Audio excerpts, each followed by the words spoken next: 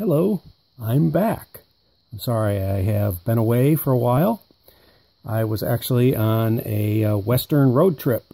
Drove all the way across the country with all sorts of stuff, delivering pe for people, friends. Uh, saw a lot of friends. Went all the way to California and back. Anyway, I'm back after, what, four weeks? I don't know. Well, I figured I'd make, better make a video. So I went into the big pile of tubes and went hunting for something, a subject for a video. And I found this.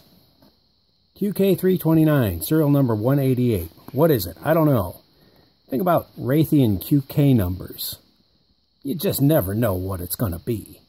Um, a lot of radar tubes, klystrons, magnetrons, but there were all sorts of other strange things. The QK prefix was basically a catch-all for all sorts of special tubes and odd tubes and prototype tubes and things like that. Uh, the CK prefix is far more common.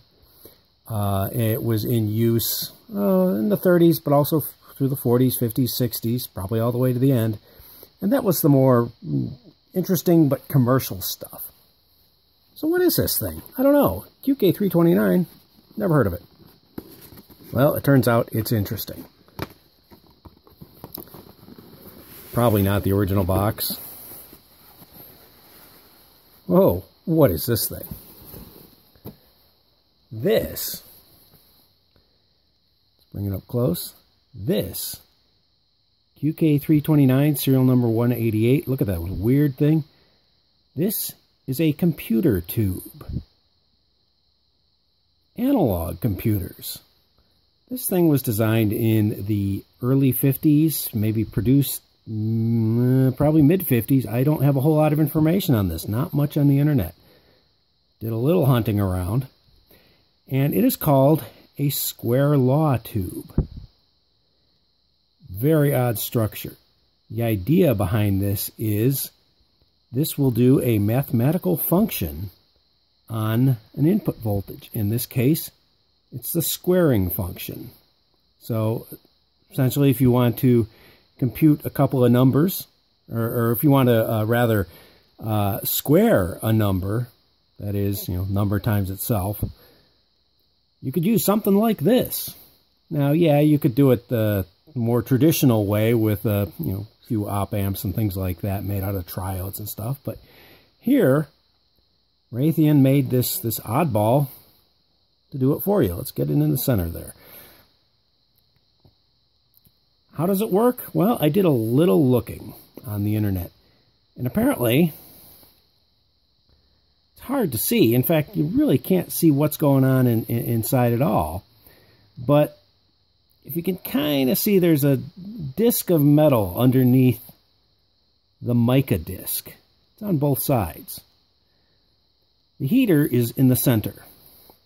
What these flat discs, almost like a, a couple of pancakes, those squeeze the electron beam from the inner uh, inner cathode there into sort of like well a pancake of electrons. They spread out from the center. Now along the rim behind the plate, this is kind of the plate, I guess you'd call it, are is mm, a grid, I don't know what you would call it, is another electrode, and it has punched out shapes. In fact, in this case, they're all parabolas.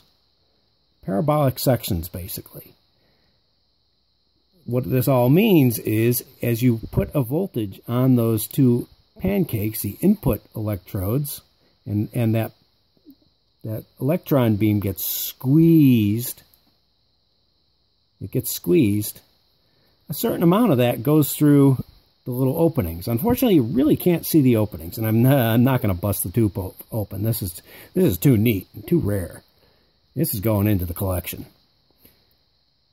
what happens is the amount of squeeze that those two pancakes do or perform on the electron beam passing through the cutouts well it basically it, it squares the voltage you read out the the, the uh, you, you read it out and uh, well hey You've, you've, just, you've just computed a square. Really neat. Never seen one before. Looks like it uses the CRT base. But wait, it gets better. I found two of them. My first thought was, oh, this is serial number 105. My first thought is, hey, wow, I can put one on eBay. Because, hey, everyone needs a squaring tube, don't they? Get you out of the way, get you out of the way. Oh, wait, hold on. Look at this. It's an earlier type. Also, very different construction. It looks like it's the same basic idea. But this earlier one, and not by much, look at that. 105, 188. I doubt they made a whole lot of these tubes. For some reason, they decided to go with this weird vertical thing. American tubes generally don't use vertical construction. Most American tubes are horizontal like this. In looking at it, it does kind of look like this might have been easier to make. Fewer parts. Because this looks like it's got a lot more going on. But wow. If you look on the net, internet, for pictures of the CK or the QK329, you see this version. Sometimes they have a nice, nice uh, blue and red Raytheon sticker on them or decal. I guess they didn't get that fancy with these early ones yet. But they all look like this. This one's interesting. The uh, pictures of the extremely early ones, maybe the prototype, are this construction. So apparently uh, they started this way, ended this way. Probably electrically uh, compatible, the same number. I don't know what uh, what analog computers use these. I'd like to find out, but there's very little information on the net about these. Um, if anyone has a, a, data sheet, I'd sure like to see it. Um, yeah, uh, send me a message on on on, uh, on YouTube or whatever. I'd love to see it. It'd be neat to, to fire one of these things up. I don't know what kind of condition they're in. If they're new, used, I don't know. They're just as I found them. I hope I can find more. They're pretty cool. It'd be neat to throw together a little little dumb project to, well, square a couple of numbers.